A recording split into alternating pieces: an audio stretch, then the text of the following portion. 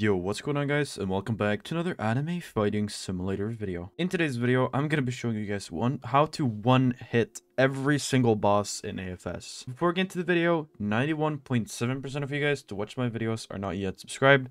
What are you guys doing? It's totally free and you guys can unsubscribe to the channel whenever you guys want to. But if you guys do decide to subscribe, it can help me out a lot. trying to reach 25k before the summer of 2022. Alright, enjoy the video. Okay, so the people that clicked in this video are probably wondering, how can I one-shot every single boss in AFS? So I'm here to show you guys that today, so make sure you guys watch all the way until the end to figure out how to one-shot every boss in AFS. But, but before we get to the video, I also just want to say that this is a glitch, and it's probably gonna get patched. But you guys should use it right now if you guys want, like, powers that's, like, Overlord powers or something that, like, boss that's really difficult. This is, this is overpowered. It literally one-shots everything. So how you guys are gonna be able to do this this today is by obtaining a thing called the Enhanced Vegeta. So Enhanced Vegeta, he trains 130% of durability, 125% strength, buff soul damage by 60%, and nerve soul damage by 50%. When attacking a player, Vegeta will use his ultimate move on them. So that power that he will use his ultimate move on them, that's the power that's absolutely broken right now. If I go into any boss in the game, it's literally gonna one-hit them. I'm gonna go into Inferno to show you guys that how overpowered this is. Okay, so I'm just gonna equip Enhanced Vegeta real quick and just wait for the cooldown to be over.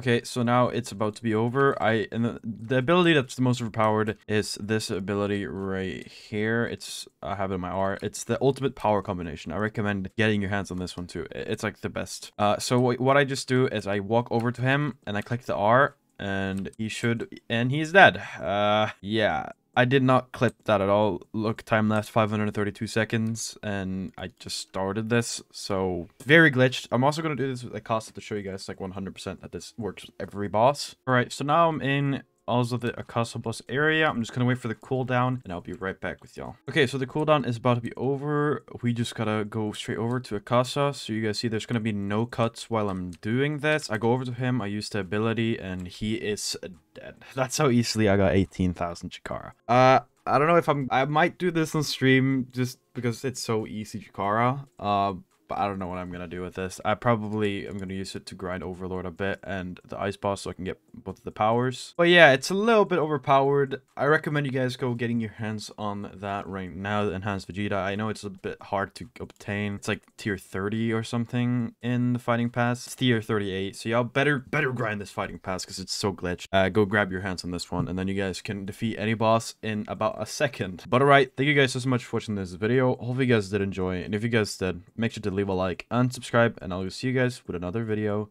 another day. Goodbye, everyone.